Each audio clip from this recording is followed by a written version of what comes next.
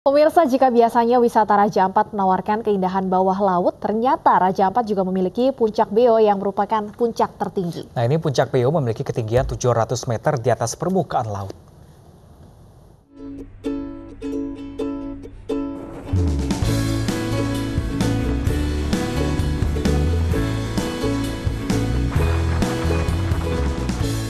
Tak banyak yang tahu jika Raja Empat memiliki puncak dengan pemandangan indah dan mempesona. Ya, puncak Yelbev atau lebih dikenal dengan puncak Beo. Puncak yang berada di ketinggian 700 meter di atas permukaan laut ini terletak di Desa Beo, Distrik Tiplol, Kabupaten Raja Empat, Papua Barat. Tempat ini adalah puncak tertinggi di Kabupaten Raja Empat.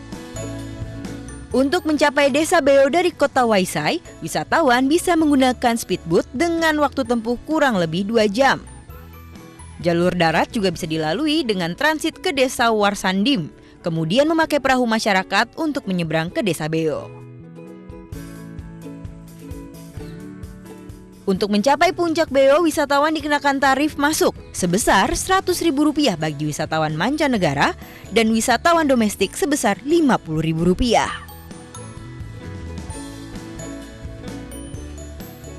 Wisatawan juga harus melewati 599 anak tangga yang dikelilingi hutan tropis untuk mencapai puncak. Dalam perjalanan menuju puncak, wisatawan dibuat takjub dengan dinding karang yang tergambar sejumlah lukisan prasejarah unik dan diyakini sebagai lukisan para leluhur. Selain itu, terdapat ratusan spesies tumbuhan. Puncak ini baru diresmikan sebagai titik wisata oleh pemerintah daerah Kabupaten Raja Ampat. Kepala Desa Beo Abidin Syukur mengatakan sarana prasarana akan terus dikembangkan.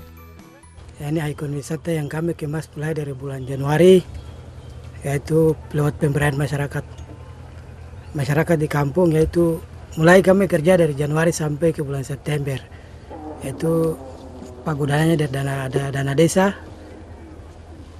yang nilainya eh, dikelola oleh BUMDes ya.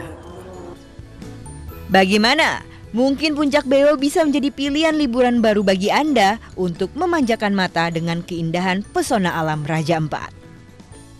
Dari Desa Beo Raja Empat, Papua Barat, Chandri Andrew, iNews melaporkan.